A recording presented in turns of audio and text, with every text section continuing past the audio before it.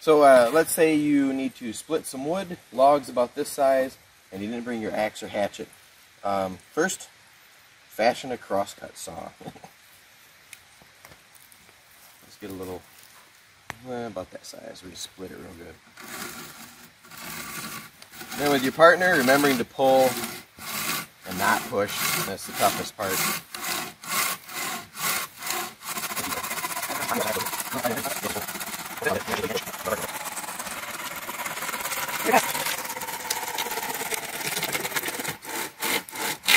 Kind of went at an angle, but all right. So once you get your little um, your little bucked off wood, your little block.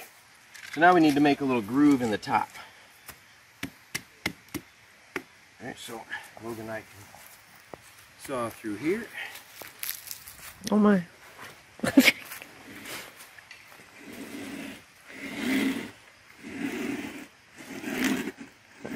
What it just hold still there. So. so you need to use the blade and score the top of the log. Just angle yours down a little bit. There you go.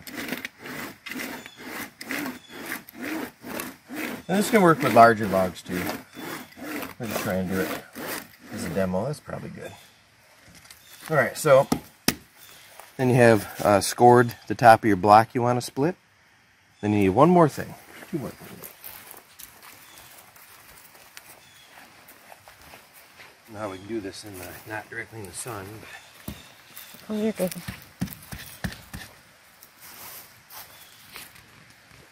is uh, Logan made and Rendell made a nice uh, vampire stake. Crowned the top off. Then you got that little wedge that's scored in there. And you need some sort of hammer. And this rock rock should work. bad at this if you want to take over.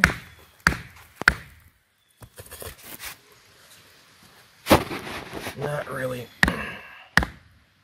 staying where I need it to on the dirt. Hard, hard wood too. Just like that. So you don't really need to carry an axe. You just uh, make these little hardwood stakes. Find a hammer pole, uh, hammer like a rock,